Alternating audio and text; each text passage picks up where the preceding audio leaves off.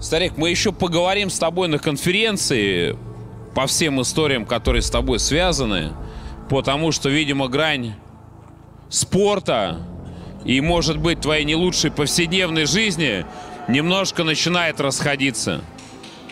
Но это уже не спорт. И то, как ты выглядишь, это уже не спорт.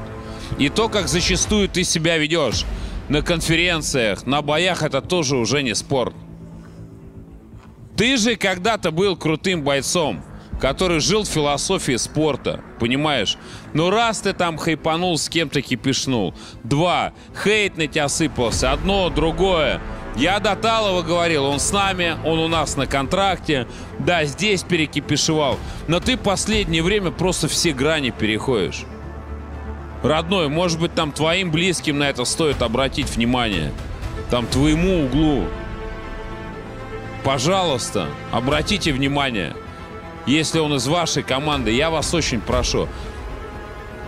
Тем более, если вы его отец. Пожалуйста. Спортивные кондиции тоже важны. Я понимаю, вы любите его и верите в него, как в своего сына, но, но есть определенные вещи, которые мы видим, и которые не должны происходить в его жизни. Я не хочу даже об этом вслух говорить, это лишнее.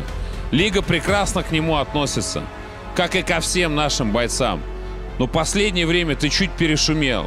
Ну, чуть вот передавил, а иногда даже и не чуть вот этой грязью. И я понимаю, что мне кажется, это исходит не всегда от тебя.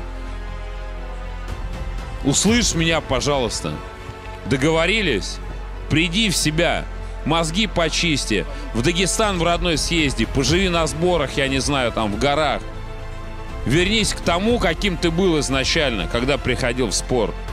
И тогда у тебя есть будущее. Мы с тобой договорились.